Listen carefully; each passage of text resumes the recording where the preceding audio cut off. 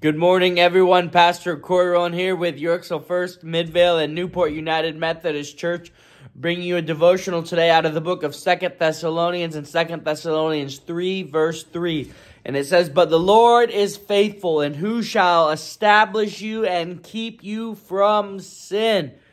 So the one thing that, that Paul focuses on here is the faithfulness of God. He says the Lord is faithful. In fact, we can think of the verse in Romans where it says just because the Jewish people were unfaithful doesn't mean that God will be unfaithful to them. And this is a, a, a, testament to God's faithfulness where Paul is using the Jewish people as an example.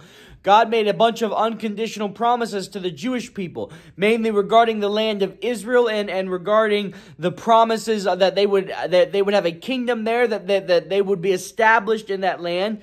Now, of course, Israel was unfaithful. Most of the Jewish people today currently don't believe that that that Jesus is the Lord. They don't believe in in Jesus Christ as as God. And so they have been unfaithful to God. But Paul says just because they are unfaithful doesn't mean that God is unfaithful. You see, many people have said that because the Jewish people rejected Christ, that God that they are no longer included in God's blessings, that, that they are no longer any part in God's kingdom. This has led to a lot of anti-Semitism and a lot of people who no longer support Israel. But but that doesn't really make sense to me if God is if God is to be known as faithful. You see, if God abandoned people and God completely turned aside, turned turned away from people just because that they just because they messed up, then you and I are in deep trouble because how many times have you and I messed up?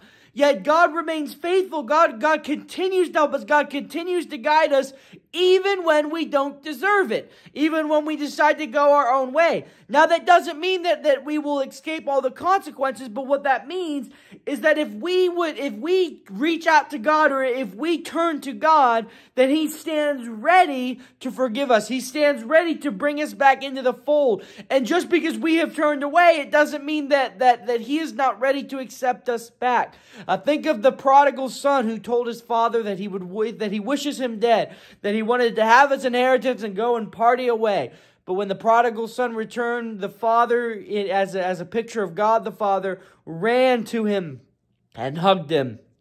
Church, we serve a faithful God. And one of the, the, the proofs of his faithfulness, as Paul brings up here, is that he will help keep us from sin. He will establish us and help to keep us from sin. The only way we can keep from sinning is through the power of God.